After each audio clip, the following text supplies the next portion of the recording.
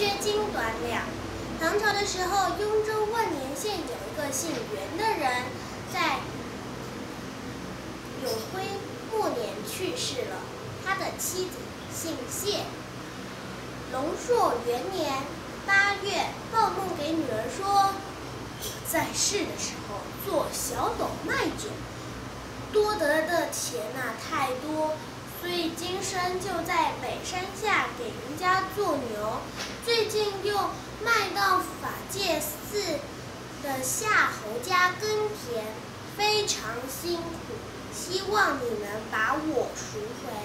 女儿醒来后，哭着把梦告诉了丈夫。